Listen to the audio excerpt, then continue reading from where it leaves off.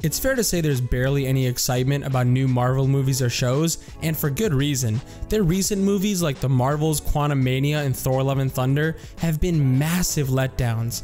Barely anyone is actually watching the shows, so they don't even matter at this point. The few projects that did well were rare exceptions. Guardians 3 was a holdover from the Infinity Saga, and that's all over now that James Gunn is gone. No Way Home brought all three Spider-Man on screen together, which is something that only works for Spider-Man movies, and clearly had no lasting effect on their movies after that. Deadpool 3 falls into that same category, and if you thought the No Way Home hype got out of hand, you haven't seen anything yet. That's that's not possible. Ryan Reynolds has been talking a lot recently about the Deadpool 3 leaks, and the way he approached the subject is what makes him so different from other MCU actors. He didn't attack the fans or get angry, he just talked about how spoilers ruin a movie, and that he understands fans look for all these leaks because of how excited they are. He jokingly posted a photoshopped picture of the Predator on the Deadpool 3 set, trying to get people to use a hashtag to clog up their search results when people look for leaks. Reynolds is a likable guy, and in today's world, that's a rare thing to say about an actor. Honestly, I can't say I disagree with him. Leaks do ruin a movie to a degree, but they also get people excited for something they may not have cared about before. People would have seen No Way Home regardless of the leaks, but the MCU was still riding high back then. Now it's in the gutter rotting away, so it needs all the help it can get. That is one big pile of shit. There's no denying that Deadpool 3 is going to benefit from all these leaks.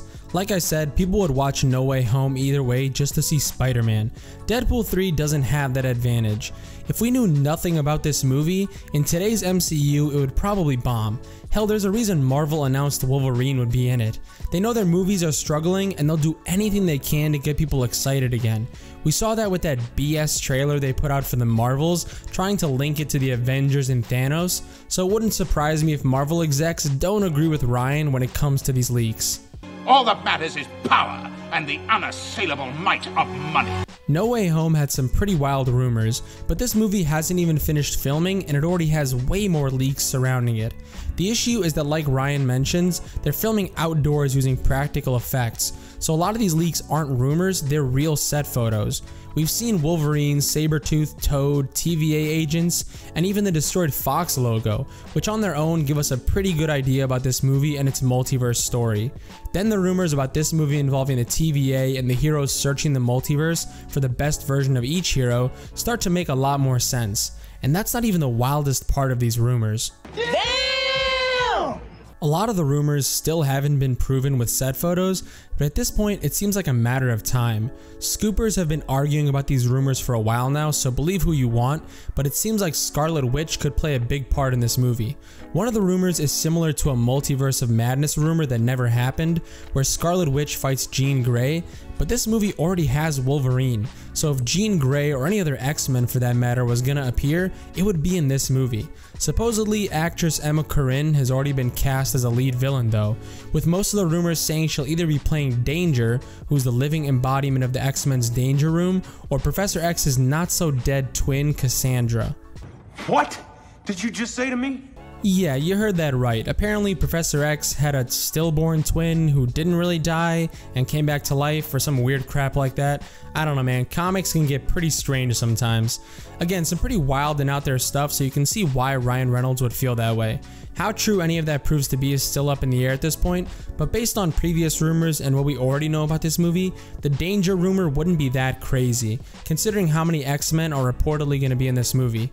Cassandra's story is a bit too grotesque for the MCU, so that one seems more unlikely, but who knows, maybe they'll use Deadpool to turn that into a joke. The villain definitely has to be on that level for this movie to make sense though, because otherwise having all those heroes and cameos wouldn't really be logical. Although we are talking about the MCU here, so it's not like they're too focused on making sense these days. Don't ask questions, just consume product and then get excited for next product. Seeing three Spider-Men on screen together is a movie that easily sells itself even to the general audience, but I'm not sure how hyped they'll be about Wolverine and Deadpool. As a comic book fan, yeah, I'm definitely a bit interested to see Ryan Reynolds and Hugh Jackman on screen together, but how appealing is that to the casual fans? Either way, that hype won't help the MCU overall, just like No Way Home didn't do anything to help phases 4 or 5.